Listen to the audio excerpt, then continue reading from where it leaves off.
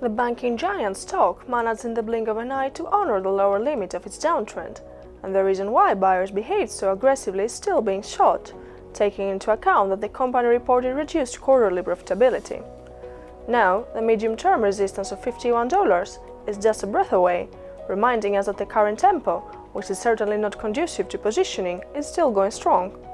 The short signal has a target of $44.50, and in case $43 is lost, Friday optimists will turn against the stock as disappointed investors will close their positions at a loss, feeding the trend back.